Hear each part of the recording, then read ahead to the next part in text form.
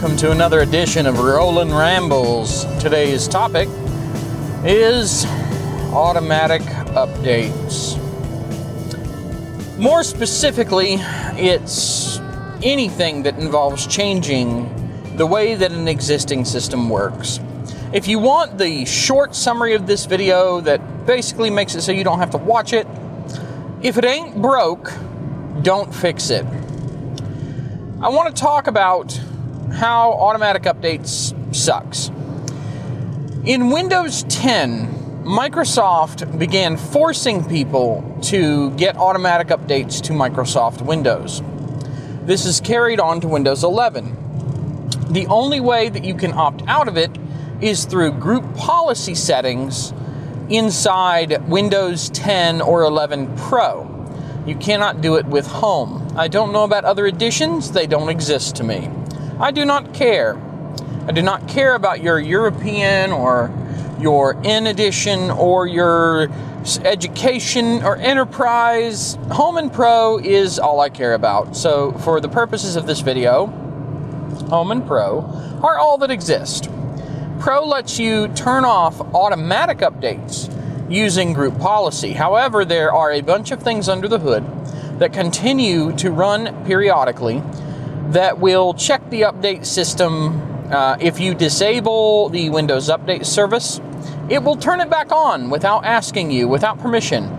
Um, they have this thing called the WaaSMedic, W A A S, which stands for Windows as a Service. If you don't know what that means, you need to know what SaaS, Software as a Service, is. Software as a Service is basically rental software or some kind of uh, usually it's it's actually used to refer to server side software that you pay to essentially rent. So if you have a database for your computer repair shop, if you have some sort of work order system or whatever for your computer repair shop and you pay a monthly fee for access to this system, then you are paying for software as a service. However, Microsoft have made no uh, no effort to hide the fact that they would like for Windows to be a subscription. In fact, one of the ways that things are going now is Microsoft would like to to get you to consider to even start having your computer itself as a subscription. This is insane, but let's wind back a little bit and return to automatic updates and discuss why they're bad, why you shouldn't do them, and what kind of harm they can bring uh, relative to what they claim that they do for you. An automatic update to Windows typically will change a large number of system files that make up Windows. These are, well, to put it the way every single phone app ever likes to put it in the uh, change logs, like what's new in this, in this version? Why should I update it from version X to version Y? Uh, bug fixes and performance improvements. but Microsoft's even worse. They will label it a security update, and then they will not tell you anything about it. They'll just say, this update improves the reliability of Windows. And no real information. You have to go digging to find out exactly what it is that they're willing to tell you it handles. And if you dig and you get the details, or at least the details that they'll give you, you often find that this fixes some security vulnerability in some library somewhere or some piece of code, whatever, that if someone already has administrator rights to the machine, they can get more than administrator rights to the machine if they do a, a sequence of very specific things. And it is true that these um, absurd vulnerabilities where it's like, oh, you, you, know, they have physical access or they have administrator access or they're already logged in as a user, and, you know, and it lets you do this other thing that isn't really much of an escalation. It is true that certain security breaches um, these days have to chain little vulnerabilities together to add up to one large one. Um, that, that this is a theoretical possibility. Now, let's assume for the moment that you are a person, you're just a regular person. I'm going to brighten this up. You're a regular person, you don't have, you know, millions of dollars in the bank, you don't have a database of 100,000 user accounts, you don't have a pile of personal information, you don't have. Um, you don't have a bunch of like credit cards stored, none of that. You're just some guy, some guy sitting in his car, talking to a camera, making a stupid vlog or something, and you just you store a bunch of stuff on your computer, maybe do online banking, whatever. But you're not a big corporation. You're not some entity that has a large target of some sort that it's it if it's hard to breach, it's worth it because if they can get into it, they get all kinds of personal information that they can use to steal identities, commit credit card fraud, pull scams, and so on. let's let's just assume that you're just a normal person. Is any of this ever going to happen to you? No. No, it is not. We are so far past the days when if you simply clicked on an email in Outlook Express and it loaded the preview pane for that email, it would infect your computer successfully. We are like 20 years past that point. It actually further past that point. This actually happened to me back in the early 2000s. I received an email. I used Symantec Antivirus Corporate Edition, which I had access to through my job um, in the past. And I opened an email in Outlook. Like, I didn't open open it, I just clicked it, and the preview loaded and the antivirus immediately come up, came up and said it stopped a known infection. oh boy. And yeah, you can imagine how that made me feel. I, I got a lot more security conscious a lot more quickly after that. But we are very far past those days when computers ran Windows 98 and XP and were basically the security equivalent of Swiss cheese. You could just pour water and it was guaranteed to come through. So, because of that, now all the vulnerabilities that exist at this point have a tendency to be very minor vulnerabilities, even theoretical vulnerabilities that have no known, like in the wild, even research or theoretical, whatever, you know, not, not even like a proof of concept exists for these. It's just, oh, you know, we did some testing and found there was uh, this vulnerability, so we patched it. And it sounds good. In an ideal world, it sounds amazing. You have this big company that runs a huge chunk of the entire globe's operating systems and thus, to some extent, you could argue they're responsible for keeping up with things like security. And they do these updates, and they send them out typically once a week.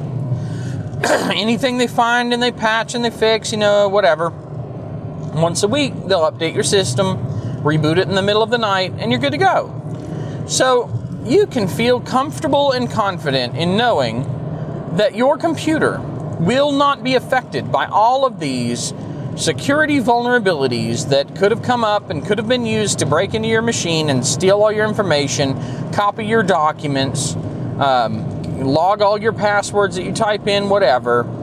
That, that none of that is a concern because Microsoft is sending out automatic updates to your operating system once a week.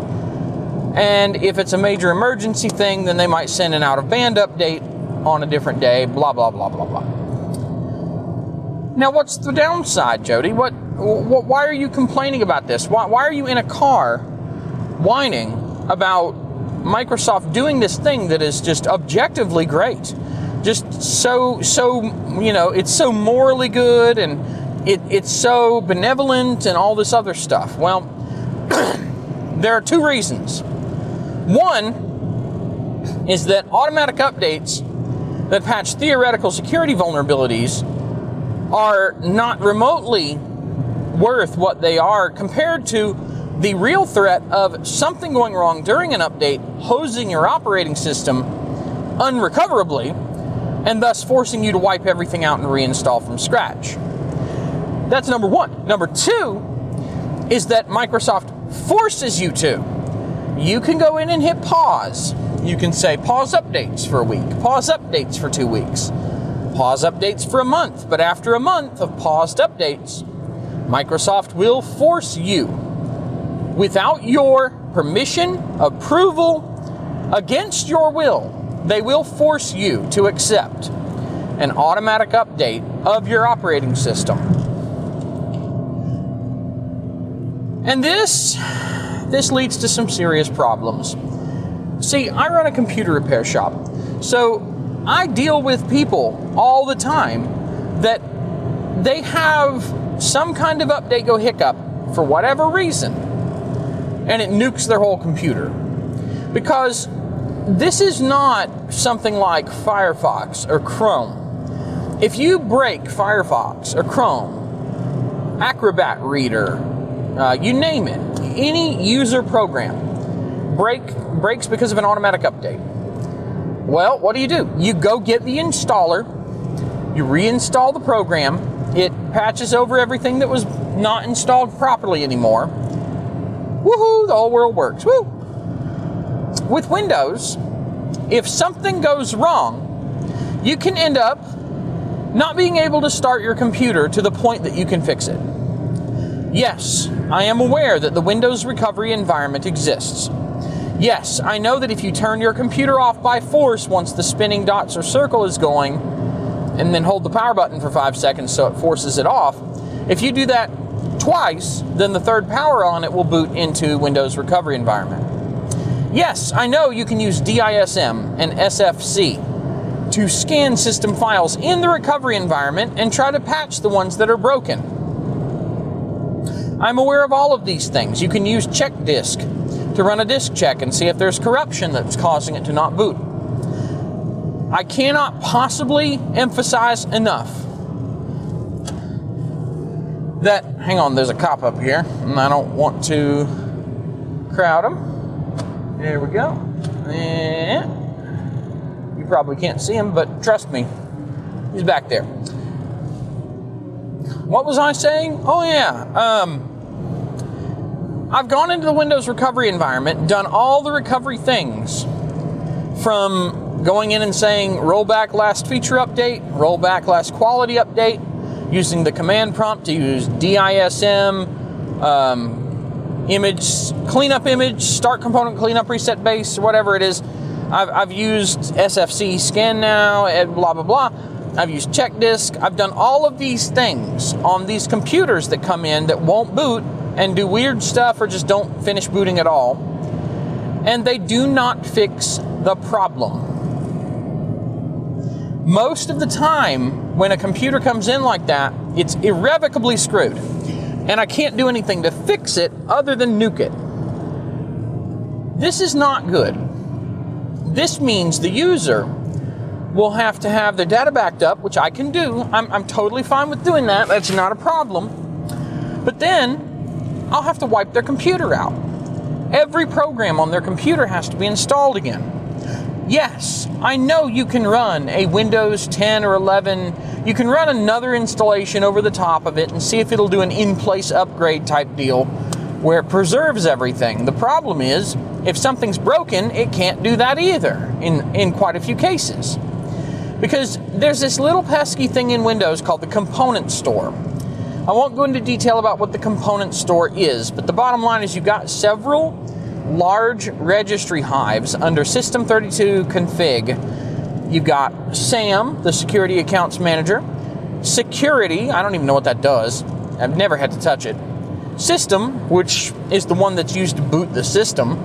It's got all the boot drivers and whatnot laid out, all the PCI identifiers and such software, which is huge and has all of that stuff that you probably recognize being under HKey local machine software. Um, and then you've, of course, got per user hives elsewhere. But the one that you probably never open, and the one that I don't even recall if it's available in Registry Editor without you having to manually load it, is the Components Hive. The Components Hive is important.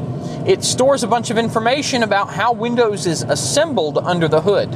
Windows is a pretty complex system at this point, and the way that it's all put together, um, it's it's very modular under the hood, but in this bizarre way that it's not like Unix systems or Linux or whatever.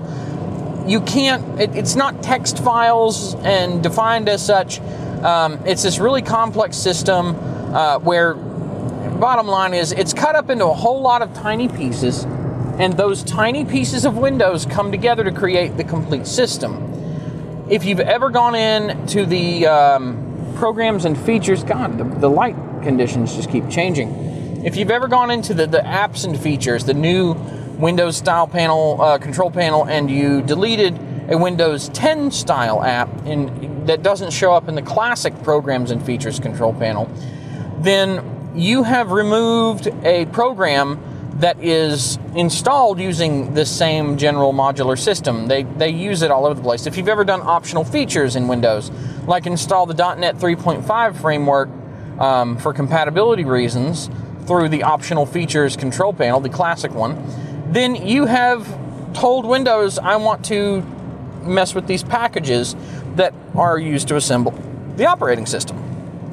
Sorry, I just ate before I started this, so I do have a little bit of a hiccup thing going on. But anyway, the Windows is it's cut into these pieces. You can you can even go into PowerShell, and a lot there are a lot of PowerShell debloat scripts or um, just general advice scripts that suggest doing things on a package level. If you've ever gone to PowerShell and used get or um, yeah get Appx provisioned package to get a list of the packages, and then use remove Appx provision package, you've manipulated the packages, the, the user visible ones anyway. But there are a bunch under the hood. There's one for each driver, you know, there's one for each type of like subsystem, or individual libraries often have their own packages. The component store stores all the information about all of these. And here's the real crap thing about the component store the component store can get corrupted I've seen it get corrupted many a time. If it gets corrupted, you are screwed. I have never had an incident where I have run, like in the recovery environment, where I've run some kind of, like DISM will let you tell it to clean up the image, restore health, and it will scan and repair the component store. But if the component store is already damaged, then you're screwed. And it just, it's weird. If something scrambles any in any remotely decent section of this one specific registry file, your whole Windows system goes kaput.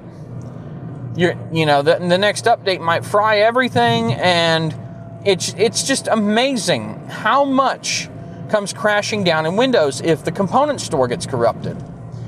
And once it's corrupted, the only real fix is to do a clean installation from scratch or to restore your system from the Windows 7 style backup medium, the one that takes a system image, Windows 10 and 11 file history don't do that, at least not that I'm aware.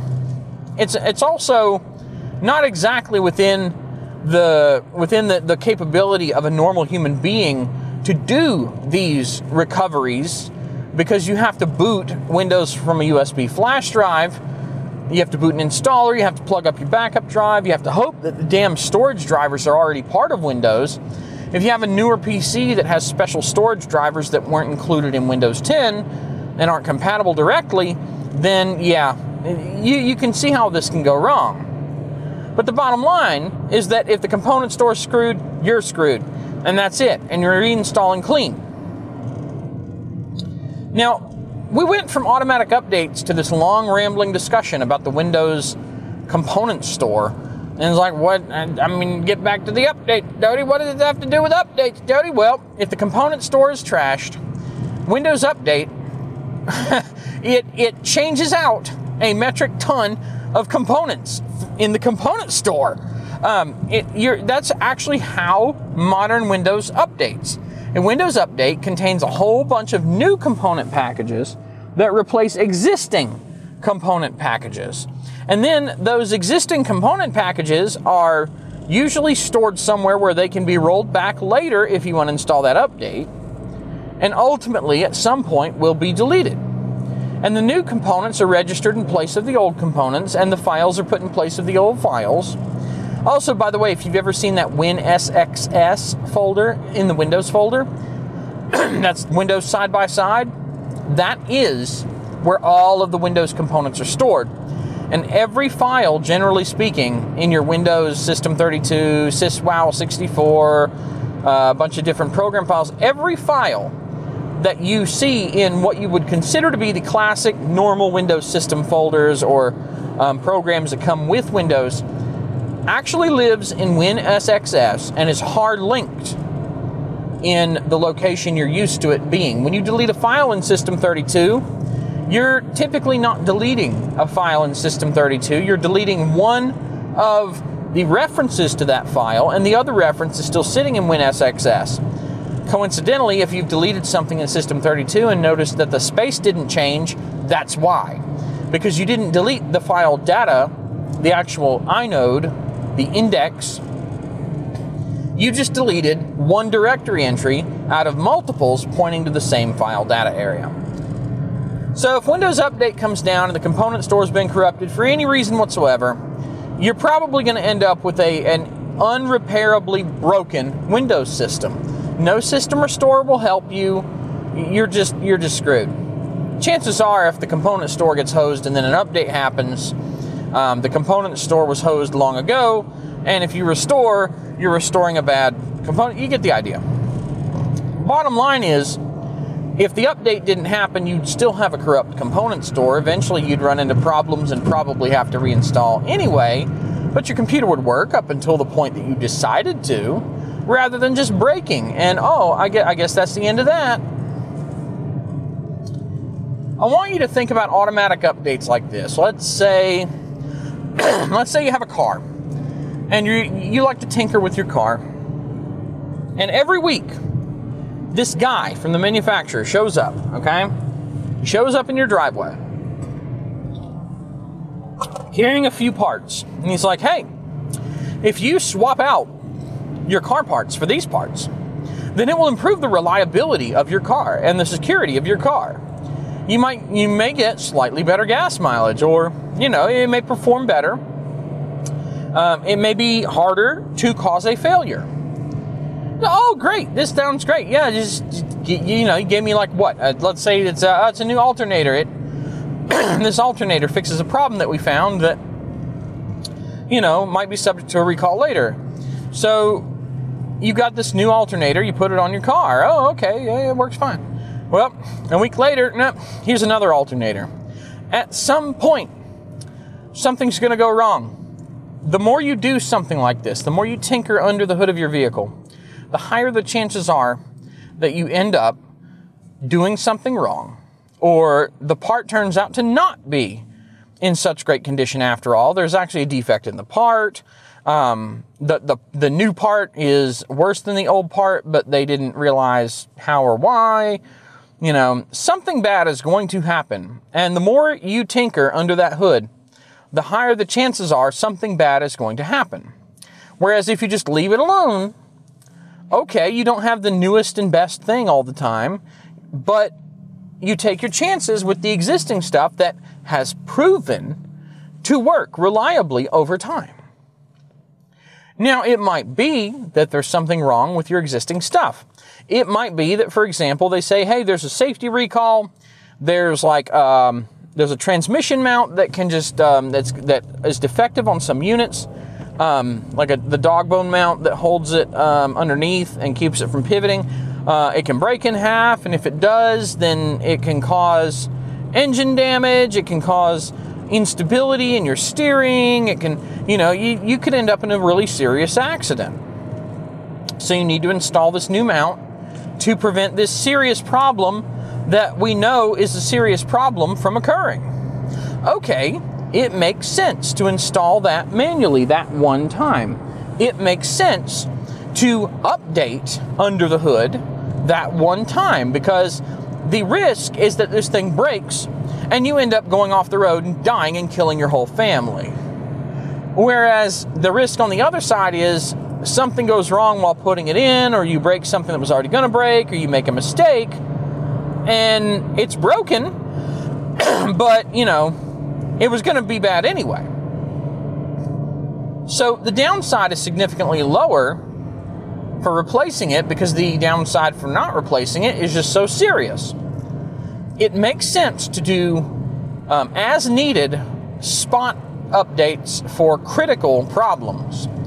However, Microsoft doesn't even do that. Microsoft has has updates that are required or mandatory or you know, I don't remember the verbiage they use, but they have updates that they're going to install whether you like it or not, and then they have optional or in the past they called them recommended updates that you don't have to install.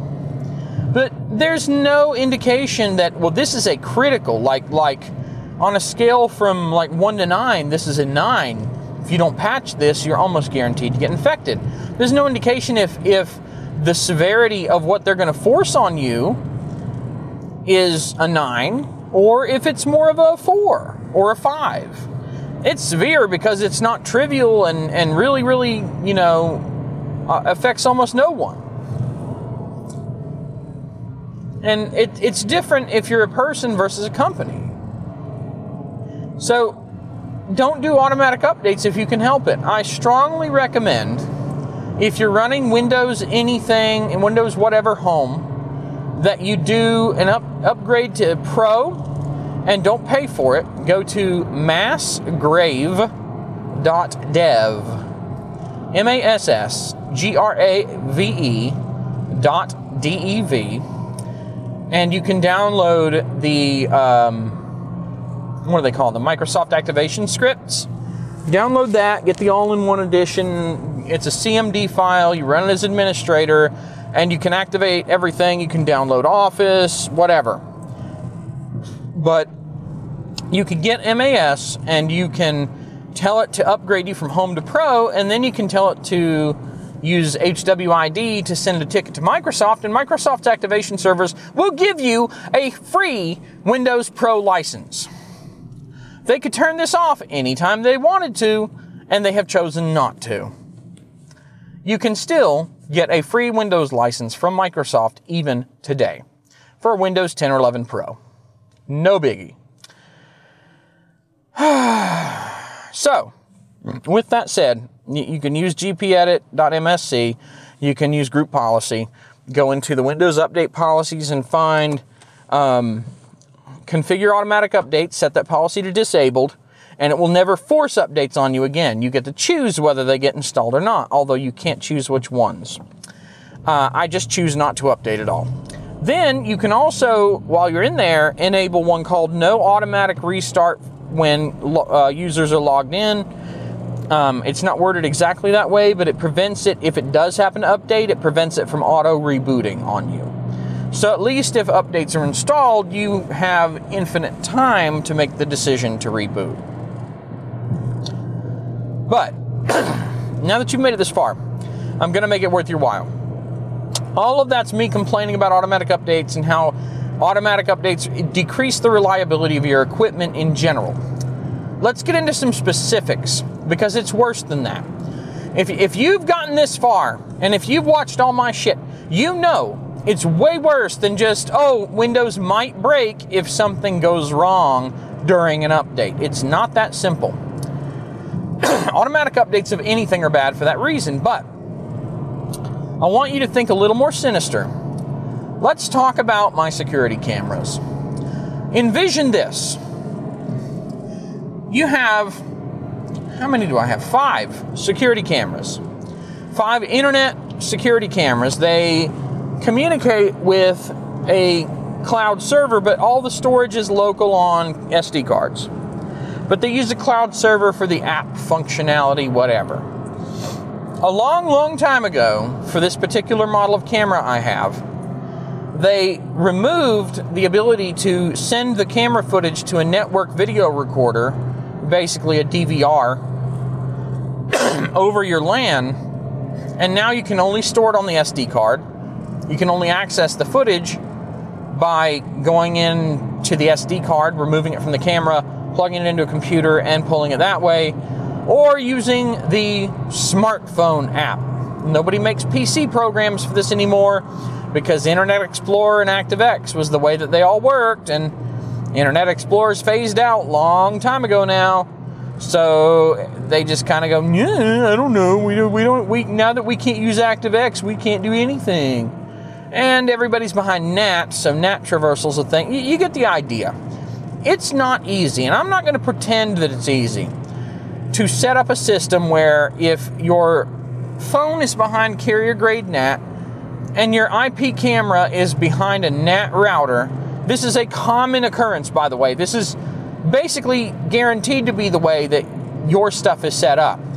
If you're on Starlink, then you're behind NAT too. You're behind CG NAT there. It's still NAT, both ends have NAT. NAT traversal is a persistent problem. And yeah, IPv6 exists, but you pretty much have to ignore it for the purposes of this discussion. It's still a niche thing in terms of what it can do for you because a lot of times you don't get an IPv6 address. So, it's not easy traversing NATs, especially when there's a NAT on both sides, both ends needing to pierce it. It can be difficult. It can sometimes be impossible, which is why all of these companies that provide these cloud based services have a relay system where both the, both of the systems can talk to this central relay whatever that has a public IP and all it really does is bounce the traffic from one to the other through this third party. Instead of the third party just setting up the connection, now the third party is bouncing all of the traffic for the connection. They're doing all the work, not just some of the work. All right?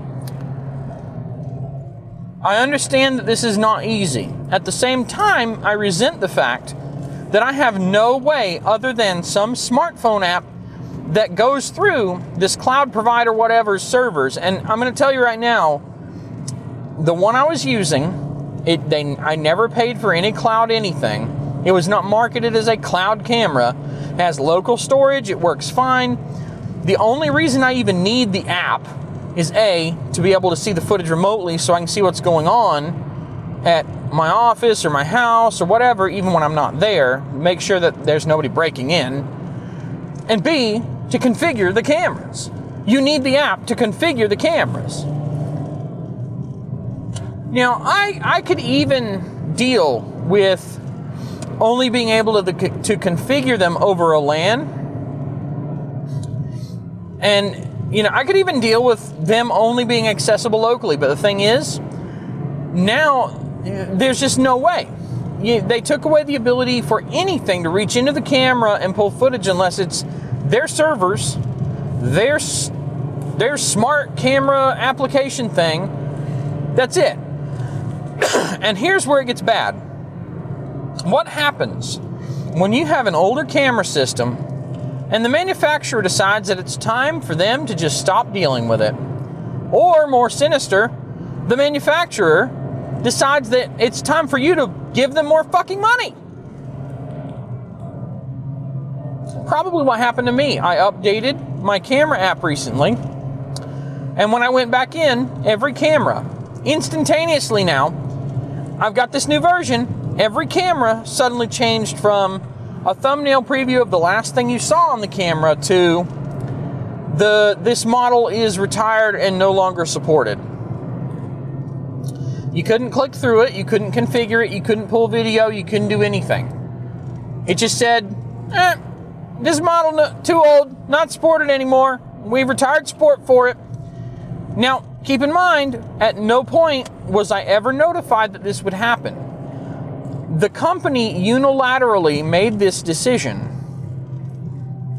They decided that it was that it was going to just they were just going to stop supporting this camera and they were going to cut off all my security without asking me, without notifying me, nothing. I had no opportunities whatsoever to do anything otherwise. So I've got these cameras, they don't work anymore because an app update.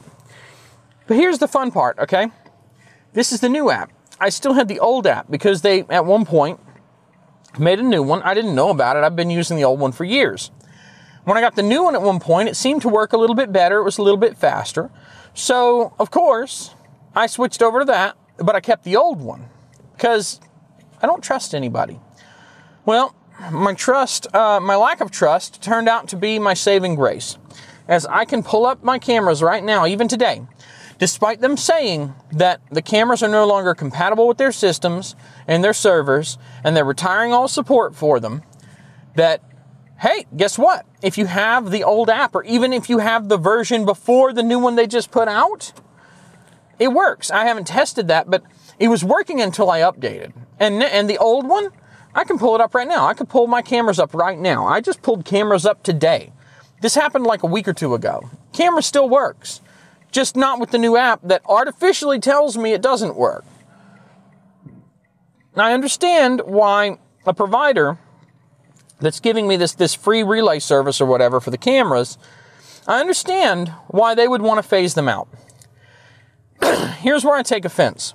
First of all, they force me with these cameras, they force me to use these cameras with their cloud system. I cannot administer them locally. I can't like, they run Linux.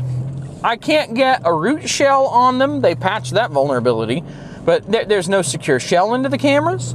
There's no like telnet style connection to the cameras. There's there's nothing. There is no way that I can talk to these cameras at all and do anything of value with them. The cameras talk to their servers only, and their servers talk to whatever app thing on your device happens to work with them, and that's it. I'm not given the option. And when they decided they were going to retire it, they didn't say that to me in any way. I just ran the update. I foolishly didn't read the notes. The notes did at least say retiring these models, and my model was in there. Of course, the chances of me remembering my camera model number, um, you know, if I'm a normie, much less reading the release notes, not very high. and um, I have no, I, they didn't release any kind of new firmware. Like, if you're going to retire the camera, the least you could do is put out firmware that unlocks access to secure shell, at, at a minimum, at a minimum secure shell.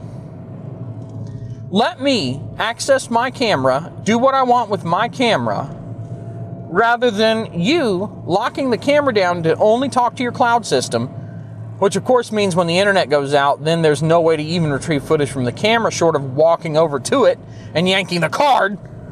But they didn't give me back control of the camera when they unilaterally decided I was no longer going to have access to my own hardware. And that is the culmination of everything I'm trying to tell you with this video.